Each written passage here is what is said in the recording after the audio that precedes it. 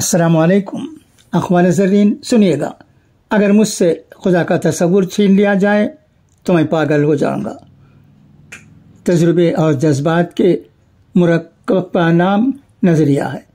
گناہ کا آغاز مکڑی کے تار کی مانند نازک ہوتا ہے، لیکن انجام جہاز کے رسے کی مانند مضبوط اور ناقابل شکست ہوتا ہے۔ بیوقوف کے ساتھ جنت میں بیٹھنے سے عقل مند کے ساتھ قید خانے میں بیٹھنا بہتر ہے۔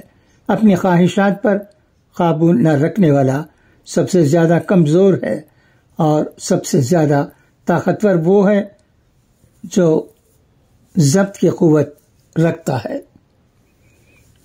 دعا ہے کہ اللہ ہمیں اچھی توفیق دے۔